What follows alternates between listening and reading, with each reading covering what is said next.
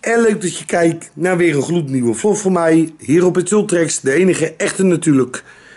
Nou, het is eh, maandag voor mij. En uh, ja, ik zat heel erg te denken van... Zal ik deze video maken of zal ik deze video niet maken? Uh, ik dacht toch bij mijn eigen van... Ja, het is niet altijd positief. Altijd, niet altijd roze geur en maneschijn. Uh, laat ik het toch maar even doen. Uh, het is weer. Uh, ja, het is weer mis boven me. Het is weer herrie. En op uh, zulke dagen heb ik echt zoiets van. ja, ik zit al de hele tijd te verdenken om, om te gaan verhuizen. Ik wil ergens anders gaan wonen. Ik wil zo snel mogelijk dit huis wegdoen, verlaten. Maar ehm, ja, op deze momenten van de dag, uh, of momenten van uh, de weken, ja, als je dan dit weer hebt, dan uh, denk je bij je eigen van, ja, de, ja het, het, wordt een beetje versterkt eigenlijk. Het wordt een klein beetje versterkt. Ik heb echt zoiets van, ik ben er een beetje zat, ben ik ermee. Ik zit trouwens ook nog te denken aan wat anders, ga ik dadelijk ook nog even vertellen. En dat is misschien wel wat leuk, hè niet zo uh, negatief uh, zoals gewoonlijk. Ik wil er ook wel wat positiviteit uh, wil ik erin hebben. Dus nou, ik heb gelijk weer iets. Want het is niet vandaag echt mijn dag vandaag. mijn telefoon is uit mijn handen gevallen. Mijn telefoon is kapot. Ik heb mijn telefoon laten vallen. Kijk. Nou, hij doet het nou wel. Maar af en toe krijg ik groene strepen. Nou, de ene keer wel, de andere keer niet. Nou zou je het net zien. Nu heb ik het weer niet. Nou is ook de herrie boven trouwens weer weg. Ja, ik moet toch wel zeggen dat het iets minder is als normaal. Maar uh, daarnet was het alweer heel eventjes heel, heel erg. Maar uh, ja, uh, ik heb al een heleboel keren heb ik al zo'n vlog gemaakt. Het is natuurlijk drie jaar rustig geweest. Drie jaar corona gehad. Of twee jaar rustig geweest, twee jaar corona gehad ongeveer bijna twee jaar uh, geen last ervan gehad. Maar uh, ja, de corona is voorbij en het onkruid komt ook gelijk weer terug. Uh, ik zit al een hele tijd zit ik met problemen met de reparatie. er is iets in huis. Ik ga niet, ik wil niet helemaal in details treden, maar er is iets kapot. Het is niet gemaakt. ik ben nu al twee maanden verder en ja, het, is gewoon, uh, het wordt gewoon niet gerepareerd. Nou is er wat ander stuk gegaan. Daar zouden ze dan uh, voor komen. Hebben ze gedaan, hebben ze gerepareerd. Uh, moest nog een ringetje moest er nog tussen. En dat zou dan de week erop komen. Week verder helemaal, niks gehoord. alles in huis wat kapot kan gaan, dat gaat bijna bekend kapot. Val me nog mee dat die huis niet aan elkaar pleurt van de ellende. Want het is echt verschrikkelijk, is het het is echt. Uh, het is echt kloten, is het. Nou, ik moet gewoon wat vaker gaan vloggen volgens mij weer, want het is nou rustig. Dus, uh, maar uh, ja, ik zit al de hele tijd te denken om uh, het hier te gaan verlaten. Ik ben het helemaal zat. Alles gaat kapot in huis. Kijk, ja, die schuttingen, daar kan ik natuurlijk, dat is gewoon de wind. Daar kan je niks aan doen. Dat heeft niet met de storm te maken. Maar ja, er zijn ook gewoon een heleboel dingen in huis wat kapot gaat elke keer. En uh, dat wordt maar niet gerepareerd. Nou, jullie weten het verhaal van uh, hierboven, waar ik altijd problemen mee heb. Daar wordt ook niet helemaal niks aan gedaan. En uh, ja, ik vind, ik vind het dan weer zo lullig om de woningstichting te zeggen. Maar ja, ze maken er wel een potje van. Het is wel een zootje, is het. Ik ja, ik wou eerst uit, nog bij naam en toenaam wou ik het zeggen, maar ja. Laat ik dat maar niet doen. Laat ik het maar de wijste wezen. Laat ik maar de slimste wezen, laat ik het maar niet zeggen. Want ja, het heb ook echt niet echt nut. Ik uh, denk nu bij mijn eigen van, joh, is het wel relevant? Nee, is niet echt relevant, is het. Dus uh, ja, dat, uh, dat wou ik eventjes melden. Ik wou eventjes wat uh, even van me afpraten. Dat heb ik even nodig af en toe eventjes. Daarom zijn ook wel weer een klein beetje... die praatvideo's die zijn ook alweer een klein beetje terug alweer aan het komen. Ik dacht bij mijn eigen weet je wat ik wel kan doen? Om dit kanaal gewoon zo te houden zoals het nu is. Om die praatvideo's op een ander kanaal te zetten. Daar zit ik eigenlijk al een jaar eigenlijk al over na te denken. En het zou best wel kunnen. Dus het zou eigenlijk best wel kunnen. Dan zou ik er uh, praatvlog van moeten maken. En dan maak ik gewoon een YouTube kanaal met uh, praatvideo's. Zodat ik toch praatvideo's kan houden. Maar ik wil, eigenlijk wil ik dit kanaal... Wil ik eigenlijk... Ja, ik zit naar het beeldscherm te wijzen. Kijk, er is een première vanavond. Uh, vlog 1086. de kermis in Berg op Zoom. Morgen komt hij in Delft-Gauw die jullie gezien hebben. Want inmiddels, als jullie dit zien, hebben jullie die vlogs al gezien. Delft Gauw, dat is maar een klein videootje. Zoals jullie gezien hebben. Die heb ik gewoon zo online gezet. En dan woensdag is de grote knaller. Uh, dan is Den Haag is er. Maar ik zat dus te denken van... Uh, ja, laat ik een ander kanaal gaan openen. En daar dan een beetje mee uh, die praatvideo's. Dus ja, mensen die toch vinden het toch leuk. Sommige van die praatvideo's, die vinden het dan toch best wel leuk.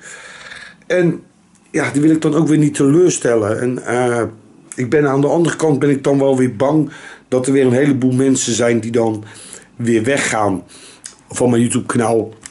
Die willen eigenlijk alleen maar de kermisvideo's zien, de pretparkvideo's, de uitjes.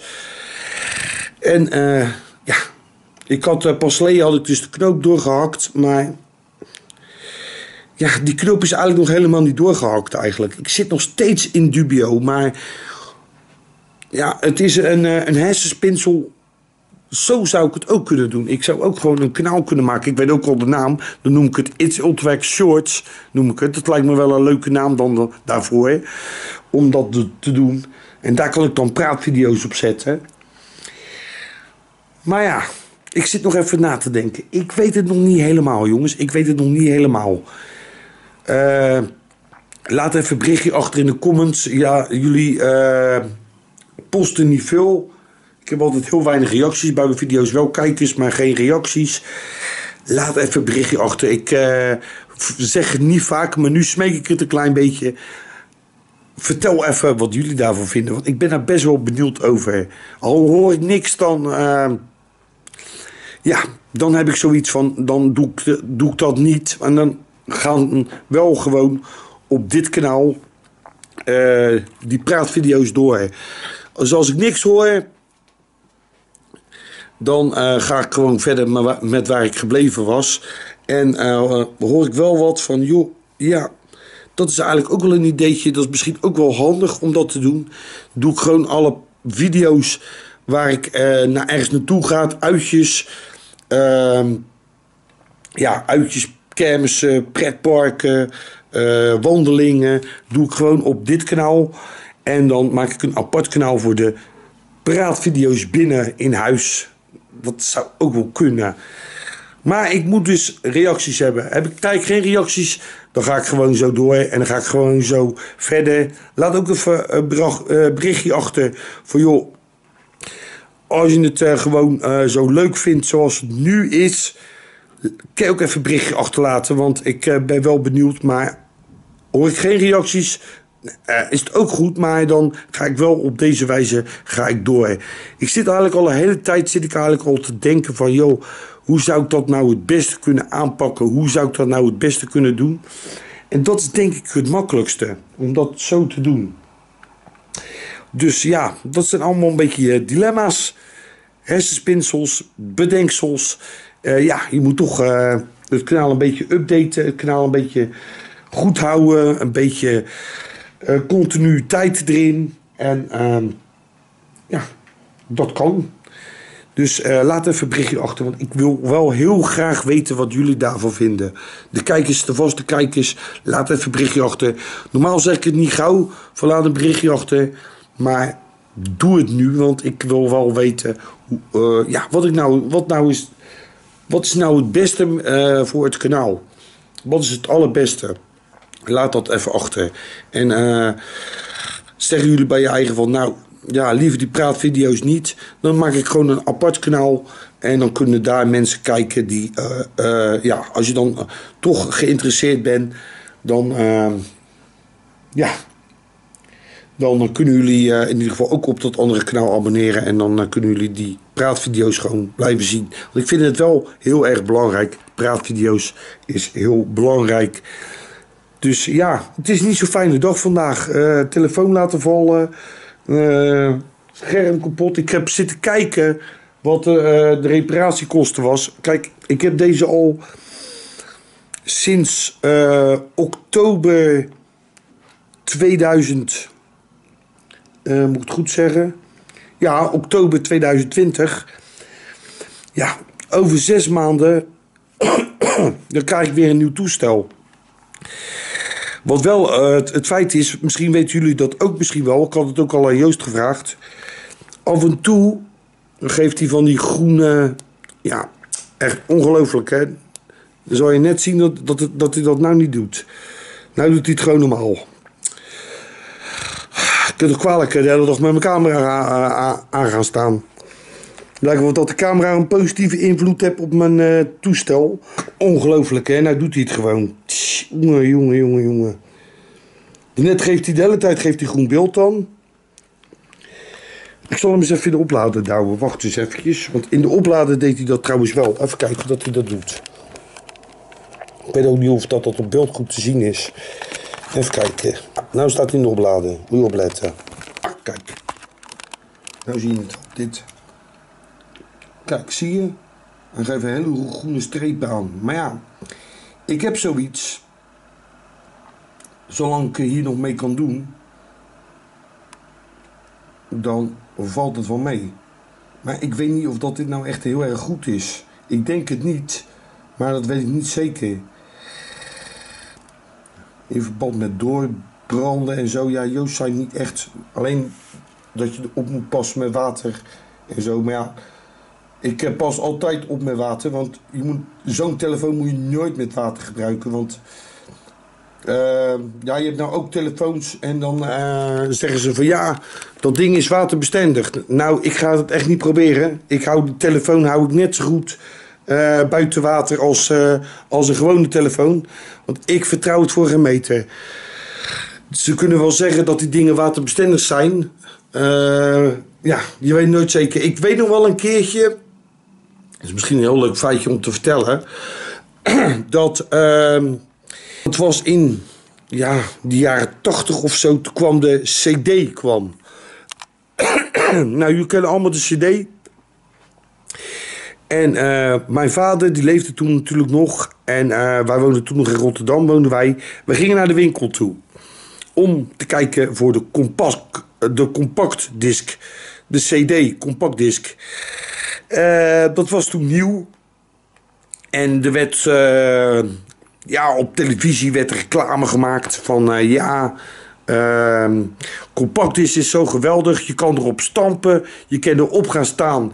En dan lopen springen op zo'n cd. Want zo'n cd gaat niet kapot. En dit en dat en zus en zo. Wij waren in die winkel.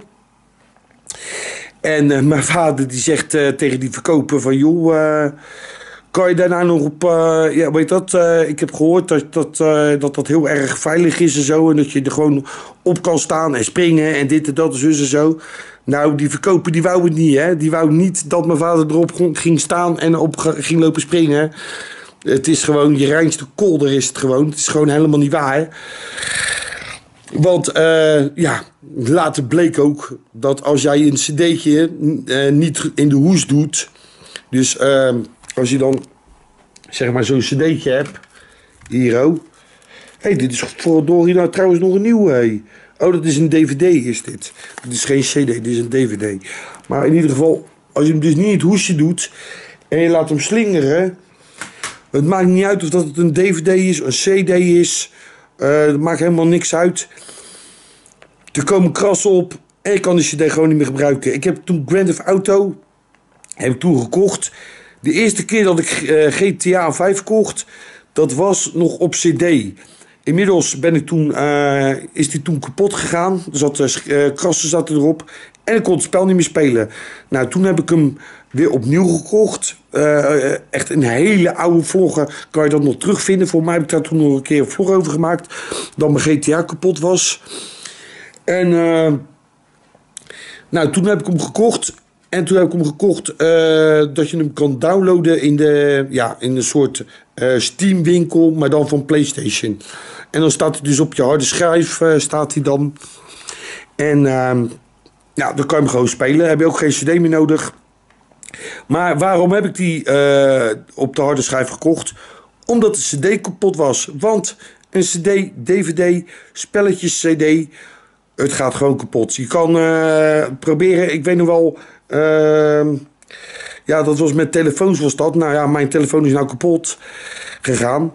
Maar uh, ja, je had vroeger had je de allereerste telefoons. Dat was uh, eind jaren 90, begin 2000 had je de nieuwste telefoons. Uh, ik, volgens mij was het 97 of 98, toen kreeg je de allereerste mobiele telefoon. Dat waren nog van die grote koelkastdingen. Je hebt uh, Pocketline Swing gehad, die heb ik ook gehad. Je had... Uh, hoe heette dat andere ding nou, joh?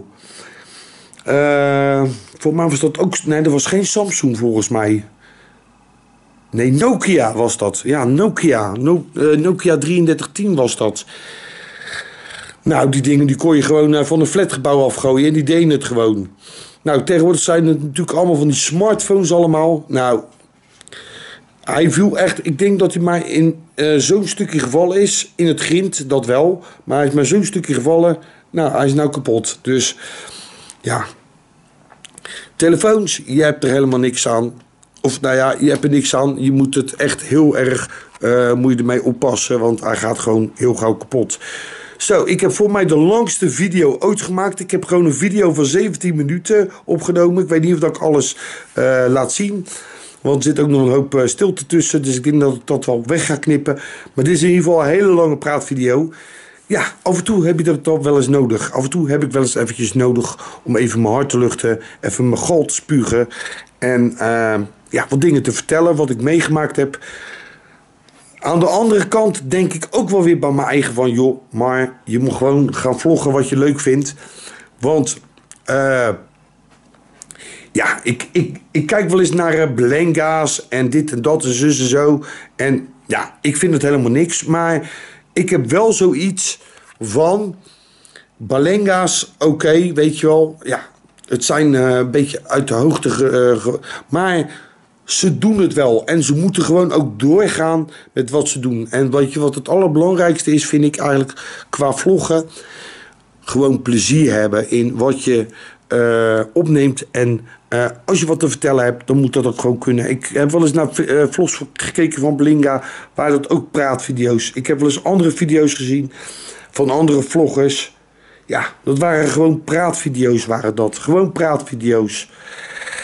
En, uh, ja, het geeft ook eigenlijk niet. Daarom heet het ook een vlog, hè. Een vlog is ook een beetje praten. Het is niet alleen maar leuk ergens naartoe gaan of zo. Dat zijn natuurlijk wel de leukste video's, dat wel. Maar ook is het wel leuk om eens een keertje gewoon wat op te nemen wat je dwars zit. Een kletsvideo. De ook Games trouwens bijvoorbeeld. Ik vind dat echt, ik vind dat ook hele leuke video's. Ik heb eigenlijk nog liever een video van hem die lekker, dat hij lekker aan het kletsen en ouwe hoer is. Dan dat hij uh, zo'n praatvideootje maakt. Dan dat hij uh, bijvoorbeeld Vesmetobia uh, speelt. Want Vesmetobia, dat vind ik echt helemaal niks. Daar heb ik echt uh, totaal helemaal niks uh, mee. Alhoewel ik het in het begin vond ik het wel een leuke video. Maar toen wou ik hem ook kopen, Vesmofobia. Vesmofobia of zo heet dat spel of zo. Dat is echt een moeilijke naam. Vesmofobia. En toen... ja, nee, ik heb het nu een paar keer gezien. Nee, niet echt mijn spel. Niet echt mijn spel. Het, het, het kan heel leuk zijn. Maar ik heb er ook niet echt het geduld voor en ook niet echt de mensen ervoor. Want eigenlijk is het leukste om Vesmofobia te spelen met een heleboel mensen. Maar dan moet je wel een hoop mensen hebben. En uh, aangezien, uh, ja, we zijn allemaal druk, zijn wij. Uh, al mijn vrienden zijn natuurlijk ook mijn collega's. En wij zijn natuurlijk ook heel druk bezig. Druk aan het werk. we hebben ook onze andere verplichtingen. Dus ik, ja, je kan niemand verplichten om ja, met een mes voor te staan van, joh, uh, je moet dat en dat. Nee, dat kan je gewoon niet doen. Dus, uh, nou, ik zit nou toevallig even Ido te kijken. Dat is ook wel, uh, wel leuk. Doet ook wel leuke streams hoor, vind ik. Ido. Edo is ook wel een leuk YouTube kanaal. Maar goed, in ieder geval, ik ga hem neerleggen. Dit was al echt een hele lange. Oh, 20 minuten. In ieder geval jongens, bedankt voor het kijken. Groetjes van deze kant. Abonneer op mijn kanaal. Druk op belletje, dan worden jullie op de hoogte gehouden als er weer nieuwe video of livestream is. En uh, ja, ik, uh, ik spreek jullie allemaal. Ik ga in ieder geval, uh, ondanks alle problemen wat ik nu even momenteel allemaal heb met mijn telefoon en de problemen met, met herrie en overlast en zo.